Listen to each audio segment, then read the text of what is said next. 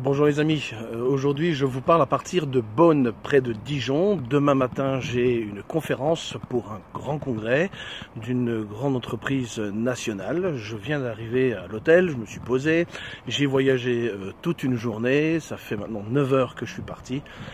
Et je voulais partager avec vous juste un sentiment, c'est que euh, quand on est conférencier, euh, on a plutôt tendance à être très bien accueilli de la part des entreprises qui nous accueillent, euh, parfois même comme des rois. On est vraiment accueilli avec des égards, parfois même avec euh, euh, des limousines. Enfin, on, a, on, a, on, vit, on peut vivre des trucs de, de, de malade, des trucs de fou en tant que conférencier.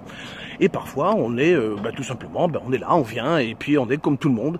Et ce contraste peut être parfois très intéressant parce que euh, parfois on a, on peut avoir tendance, on pourrait avoir tendance. Vous savez, quand on a euh, l'habitude, on commence à avoir l'habitude de vous mettre euh, dans, dans, du coton, dans de l'ouate, vous accueillir comme un roi. Ça peut devenir vite une habitude et je refuse de m'habituer à cela. Et aujourd'hui, par exemple, à Bonn, eh bien, euh, euh, je suis arrivé à la gare, il n'y avait pas de taxi.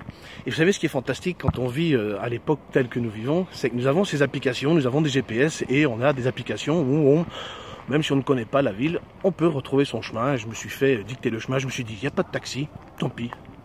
Il y a deux kilomètres pour aller à l'hôtel, je vais marcher. Et puis finalement, ça a été très agréable parce que ça m'a permis euh, de me détendre, de bouger un petit peu mon gras, de découvrir un peu la région et, euh, et, de me rendre compte que finalement, je fais un super métier. Et le fait de marcher, de ne pas être traité comme une star, me permet justement d'apprécier les fois où on me traite comme une star. Et euh, je n'ai pas envie de me prendre au sérieux, j'ai pas envie... Euh, euh, voilà, je pense qu'à partir du moment où on commence à se prendre au sérieux, on se décrédibilise aussi, et puis on perd aussi beaucoup d'humanité. Je fais mon travail très sérieusement, je suis un gros bosseur, je pense que vous l'avez compris également. Euh, si on m'invite à venir en conférence, c'est que mes compétences sont reconnues. Mais à un moment donné, il faut rester humain, il faut rester soi-même, et ça nous permet d'apprécier encore plus ce qu'on fait. Donc là, je me balade, je vais euh, chercher de quoi manger. Euh, J'ai appris qu'il y avait différents restaurants. On m'a dit qu'il y avait un restaurant chinois. J'ai bien envie de m'en faire un ce soir. Vous venez avec moi?